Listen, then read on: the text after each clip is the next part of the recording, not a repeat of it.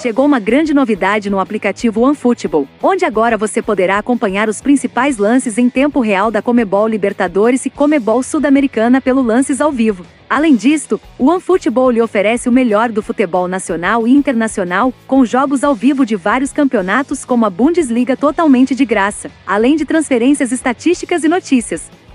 Baixe agora o OneFootball, é de graça, link na descrição.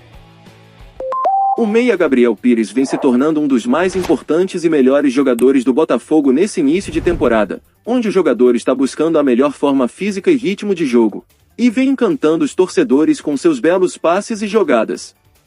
Gabriel Pires tem contrato com o Botafogo até meio do ano, mas o Alvinegro tem a opção de renovar automaticamente seu vínculo de empréstimo até dezembro, junto ao Benfica Clube dono dos direitos econômicos do jogador. O Botafogo já se movimenta para adquirir o camisa 10 em definitivo, e o valor pago pelo Alvinegro para ficar com o jogador é de 3 milhões de euros, aproximadamente 16 milhões de reais, e caso continue evoluindo com suas boas atuações muito provavelmente John Textor deverá exercer a opção de compra do jogador. Botafogo!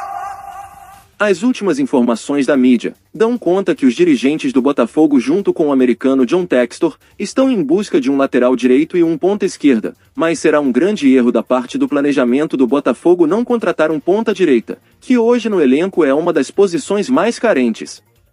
Nenhum dos jogadores que atuam na ponta direita estão agradando. Opções como Lucas Piazon e Gustavo Sauer já esgotam a paciência do torcedor e não é de hoje. E o Botafogo precisa de um jogador de qualidade para este setor, pois as melhores jogadas ofensivas vêm todas do lado esquerdo com Marçal e Vitor Sá, que está em grande fase.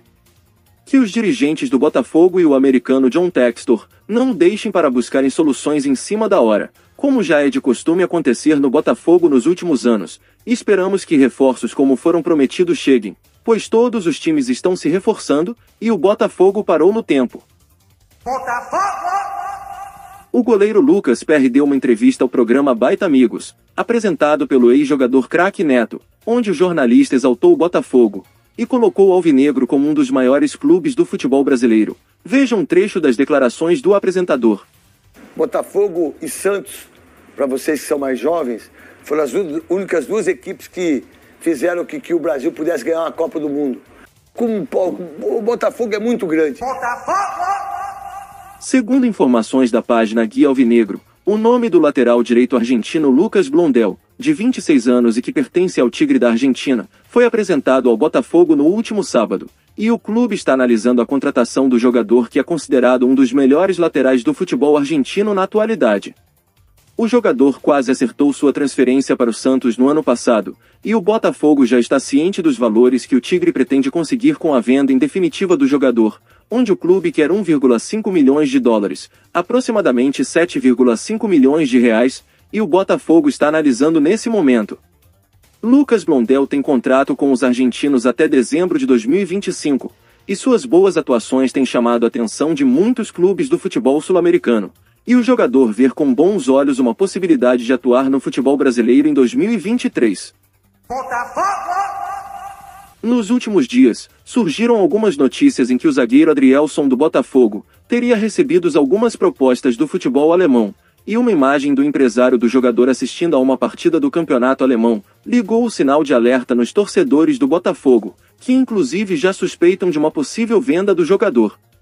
Alguns torcedores estão desconfiados que o americano John Textor estaria negociando o zagueiro com o futebol alemão para o meio do ano, onde Adrielson possui contrato com o Botafogo até dezembro de 2025, e hoje é principal zagueiro do Alvinegro e um dos melhores defensores do futebol brasileiro. Essa possibilidade gera uma possível desconfiança, pois muitos ainda pensam no Botafogo como um clube satélite, onde pegará seus principais jogadores e venderá para outros clubes do futebol europeu o que é uma prática considerada normal atualmente no futebol brasileiro. Segundo a página Guia Alvinegro, o atacante Luiz Henrique pode não ficar no Botafogo até o fim da temporada, e mesmo renovando seu vínculo até dezembro, o jogador pode sair no meio do ano do Botafogo e voltar para o Olympique de Marselha, clube a qual pertence o jogador. Para que o Botafogo seja obrigado a comprar Luiz Henrique por 44 milhões de reais, o atleta terá que bater algumas metas que nesse momento é praticamente impossível do atacante conseguir, e com isso muito provavelmente deve deixar o alvinegro muito em breve. Segundo informações do canal Estrela Solitária, o lateral esquerdo Dalber, de 29 anos e que atualmente está na Inter de Milão, foi oferecido ao Botafogo para esta temporada, mas teria sido recusado pelo americano John Textor, onde a vontade do atleta é voltar ao futebol brasileiro. O jogador vem sendo oferecido a diversos clubes do futebol brasileiro, e na última semana chegou a ser oferecido ao São Paulo, que estava analisando uma possibilidade de proposta pelo lateral, e o Botafogo, que busca um reserva para o lateral esquerdo Marçal, recusou a possibilidade da chegada do jogador brasileiro. Botafogo! Alvo do Botafogo e de alguns clubes do futebol sul-americano, o atacante argentino Di Maria foi avisado pela Juventus que não vai renovar o seu contrato que se encerra no meio do ano, e liberou o jogador para procurar outro clube para atuar, e segundo informações vindas da Itália, o argentino quer voltar para o futebol sul-americano. E a recepção que o uruguaio Luiz Soares teve no Grêmio e sua boa base no futebol brasileiro, tem chamado a atenção de Di Maria. Além do atacante argentino, outro jogador que recentemente esteve ligado ao Botafogo também foi liberado pela Juventus para procurar outro clube. Foi o caso do colombiano Juan Cuadrado, que recentemente foi oferecido ao Botafogo, e será outro que deverá voltar ao futebol sul-americano nesta temporada, e só depende do americano John Textor, pois a Juventus está disposta a liberar os jogadores de imediato.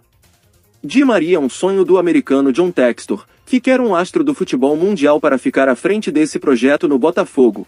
E o nome do argentino é bem avaliado por Textor, que deve buscar novos contatos com o jogador após a notícia que a Juventus decidiu não prorrogar o seu vínculo, que se encerra no meio desta temporada. O atacante Davidson, que teve seu nome ligado ao Botafogo nas últimas semanas, postou recentemente um pedido de uma pessoa, que pedia para Botafogo contratar o atacante, que está sem clube desde que deixou o futebol chinês no início dessa temporada. O jogador tem desejo de atuar no Botafogo, pois já trabalhou com o técnico português Luiz Castro no Vitória de Guimarães, e Davidson pode tanto atuar como ponta como também pode atuar como centroavante, posições que o Botafogo está procurando no mercado de transferências. Um jornalista gaúcho recentemente chegou a divulgar um possível acerto entre o jogador e o Botafogo, no entanto, até o momento não passou de especulação, que esquentou após o atacante ser flagrado assistindo a partida do Alvinegro contra o Fluminense no Maracanã. E agora, após a postagem, as especulações de uma possível chegada do jogador só aumentam. O Botafogo evita falar com exatidão o número de reforços que pretende contratar nesse primeiro semestre, pois o clube também pensa na janela do meio do ano, que é a preferida de John Textor, pois segundo o empresário muitas oportunidades de mercado surgirão. Foi assim em 2022 com o lateral esquerdo Marçal, o meia Gabriel Pires e o atacante Tiquinho Soares, todos vindos do futebol europeu. Quer ficar por dentro de tudo o que acontece com o Botafogo? Então deixe o seu like e se inscreva no canal para não perder nenhuma novidade.